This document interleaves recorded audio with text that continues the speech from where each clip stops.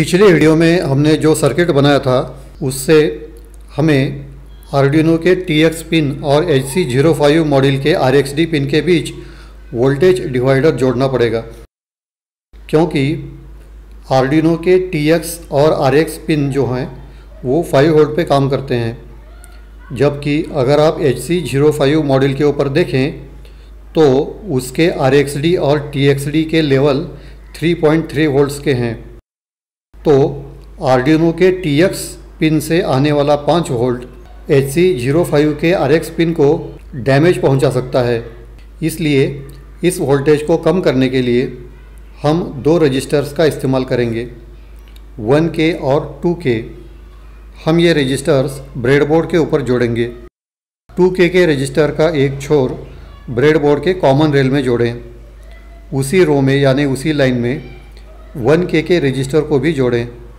दोनों रजिस्टर्स के बीच कुछ जगह छोड़ें, जिससे हम H C zero five model के आर एक्स डी पिन से आने वाली वायर जोड़ सकें।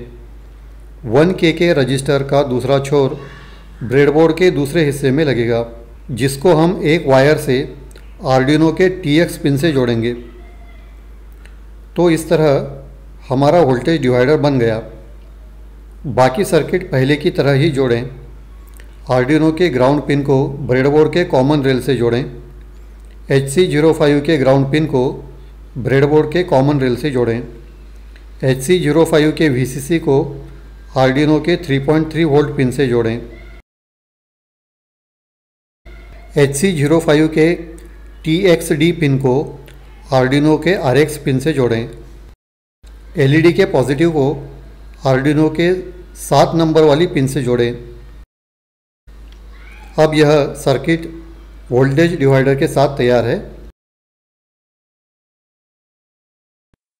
अब आप आर्डिनो में प्रोग्राम अपलोड करके इस सर्किट को टेस्ट कर सकते हैं।